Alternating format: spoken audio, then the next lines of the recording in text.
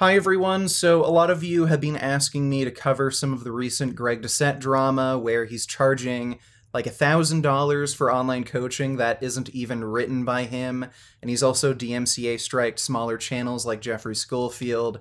So uh, I figured I would try and disincentivize anyone who is thinking of buying his online coaching.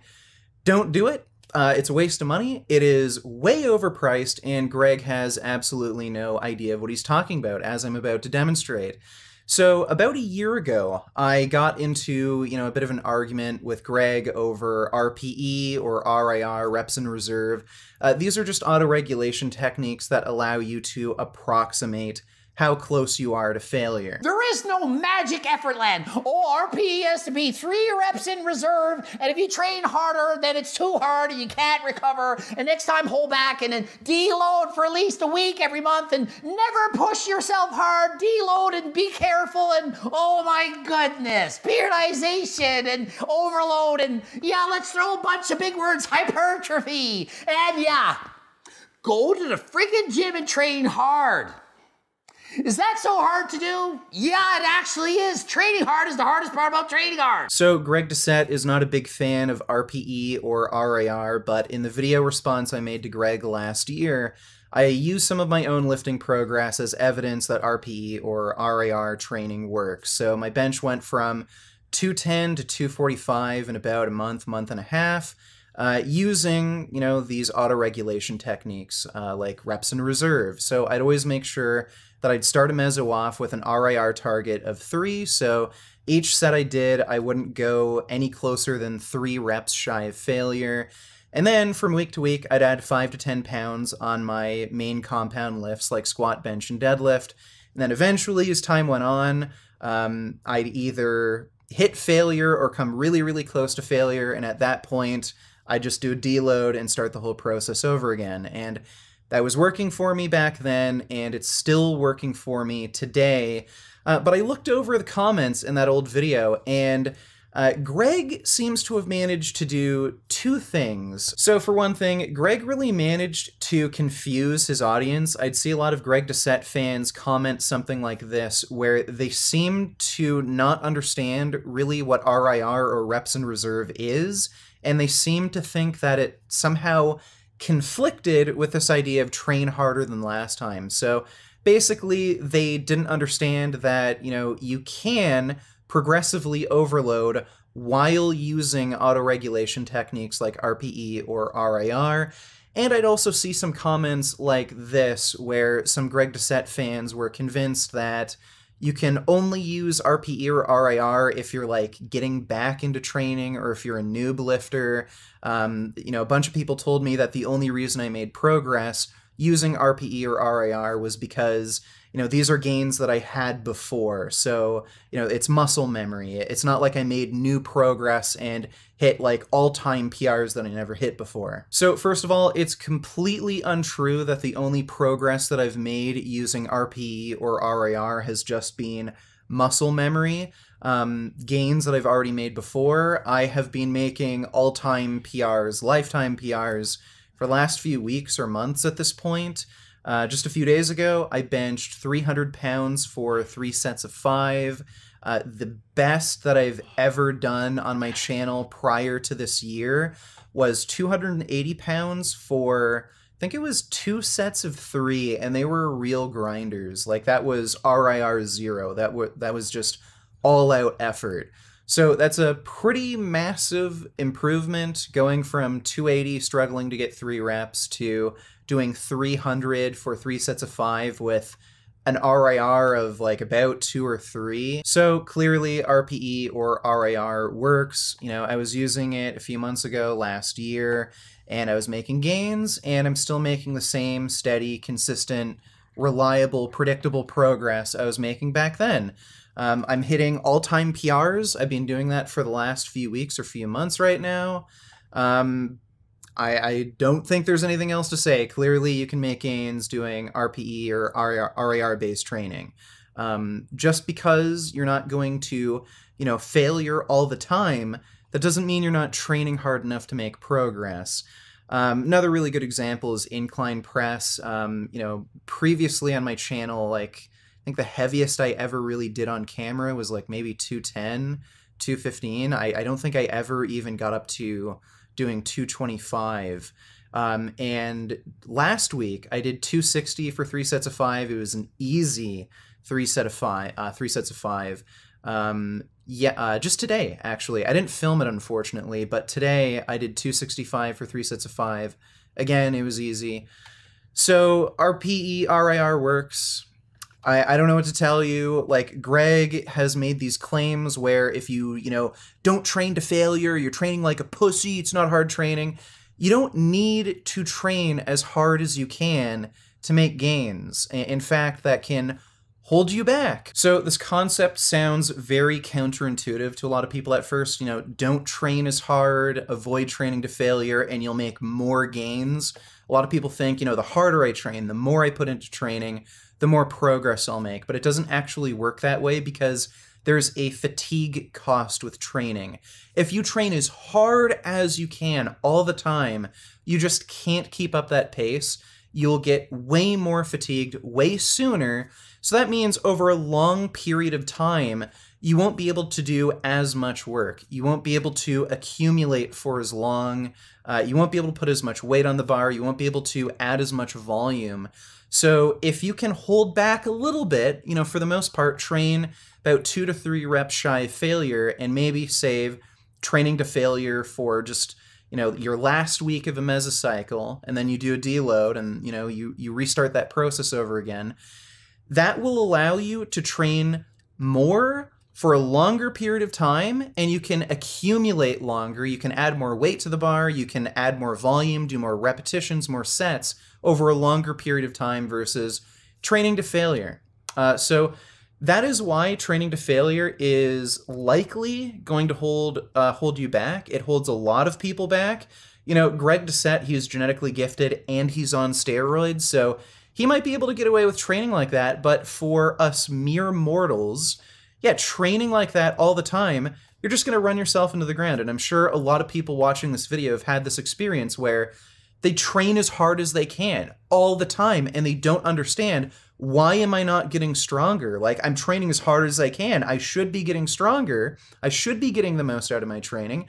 But the problem might be that you are just training too hard. You're not allowing your body to recover from training, holding yourself back a little bit, training, you know, about two to three reps shy of failure.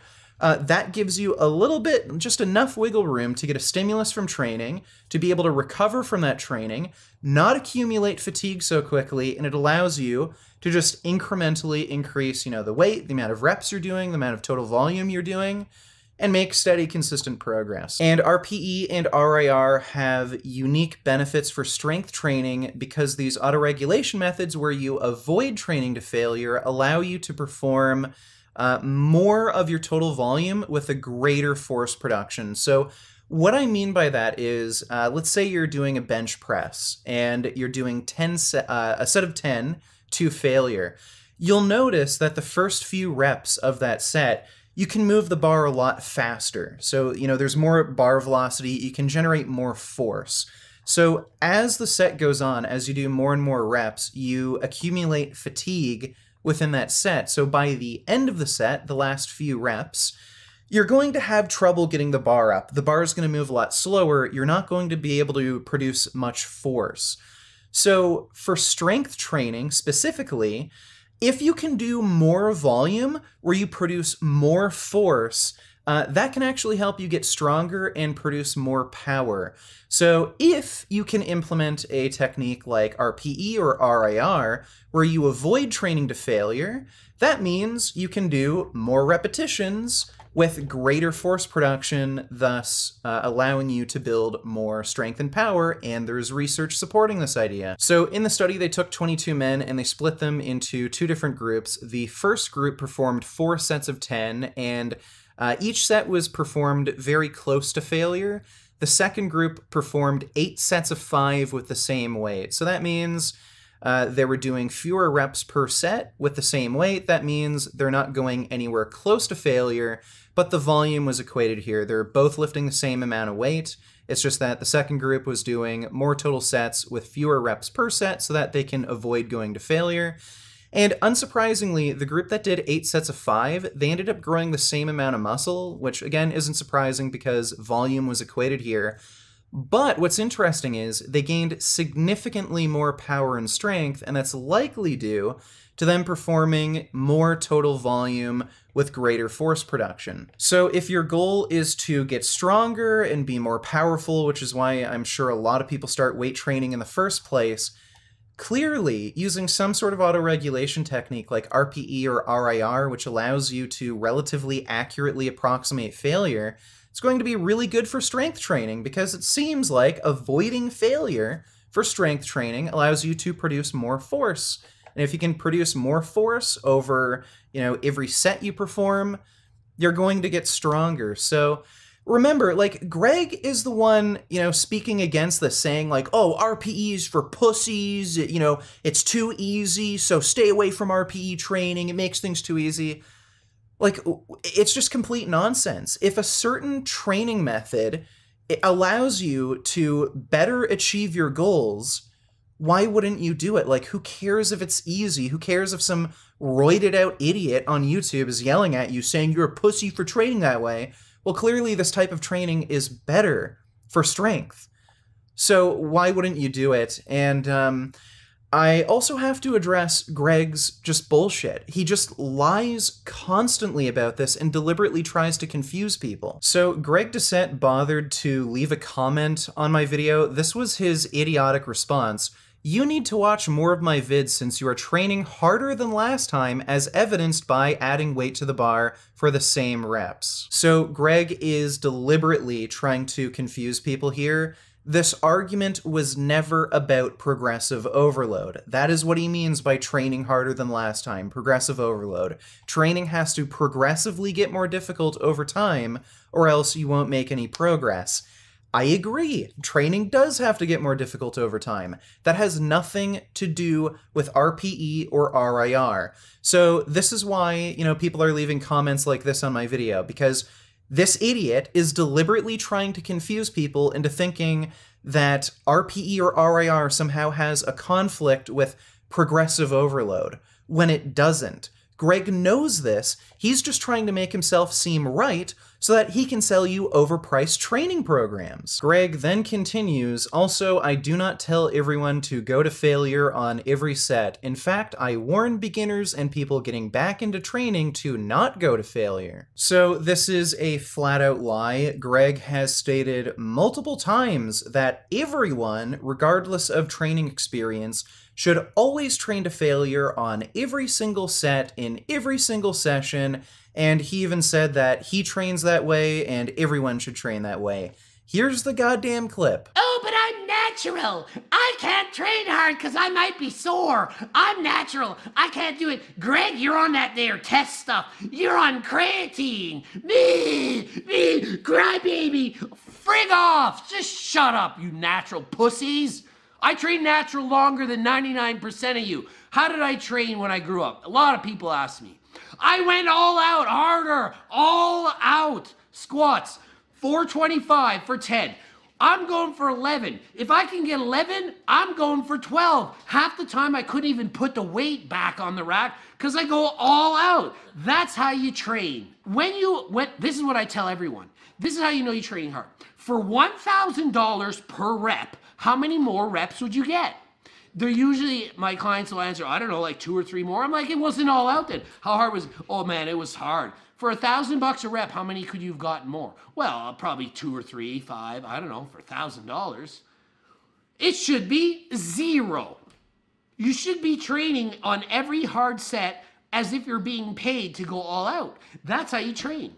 Oh, yeah, I bet this is a really tough day for you, huh, Greg? Because now you can't get away with your lies anymore. So the fact is, Greg is an ignorant idiot and he doesn't know much about training. His training recommendations are just based off of his own personal experience and what worked for him, and what worked for him probably isn't going to work for you because you're not a genetically elite pro bodybuilder who's on high doses of anabolic steroids. So, yeah, Greg can train to failure all he wants because he's genetically elite. He takes tons of drugs. You don't. So if you train like that, uh, you're going to burn out super quickly. You're probably going to plateau or your performance is going to go down because training to failure all the time, that hard, uh, it's just way too fatiguing to keep up your performance. And then you're probably also going to get sick or injured. And the only reason Greg has walked back his claims recently, where now he's claiming, oh, well, you know, not everybody should train to failure. The only reason he's doing that now is because, you know, the, the science based fitness community has completely embarrassed him on this topic and proven that his recommendations are just stupid and dangerous. And to this day, Greg won't admit that he was ever wrong about RPE and RIR, and he keeps putting out misinformation about these training principles just so that he doesn't have to admit he's wrong. This guy clearly isn't interested in learning, he's clearly not interested in educating anyone. He just wants to do whatever he thinks will make him more money. So don't buy this guy's online coaching. Uh, not only is it overpriced, but the guy clearly doesn't know what he's talking about, and worse yet, he doesn't even have an interest in bettering himself, in learning, in changing his coaching practices to, you know, better you or better educate you. He just wants quick cash. So don't support him. There's way better online coaches out there who charge way less. Honestly, I think you'd get more out of, you know, a free cookie cutter program that you can find online than from Greg Doucette's coaching.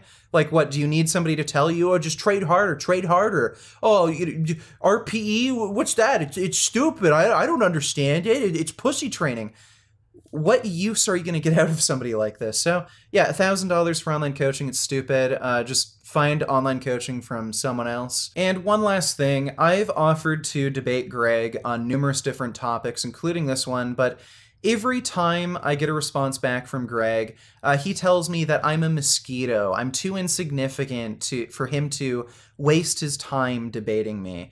Well, uh, you know, Greg, you waste your time on tiny channels all the time. Uh, you tried to bully a girl who had less than 2k subscribers because she gave a bad review to your uh, for your cookbook. Uh, you tried to DMCA strike Geoffrey Verity Schofield because he gave a bad review for your online coaching. You waste your time on tiny channels that are insignificant mosquitoes, in your words, all the time. But you won't engage with me because you know that I'm right, you're wrong. You know that I'm smarter than you, and I'd make you look like an idiot. Uh, so I think that speaks volumes, uh, you know, about how little Greg knows about training.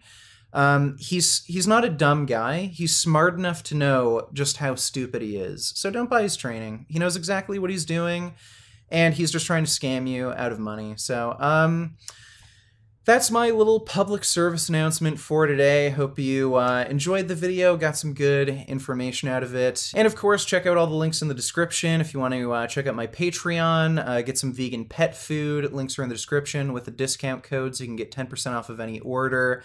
Uh, you can also get online coaching through Quality Gains and um, also my OnlyFans. Uh, my wife and I's OnlyFans are also linked in the description. So if you want to see me naked, see my peepee, check that out. And as always, keep making those vegan and RPE gains. What a relief! When will this poisonous product cease? This is another public service announcement. You can believe it or you can doubt it. Let us begin now with the cow. The way it gets to your plate and how.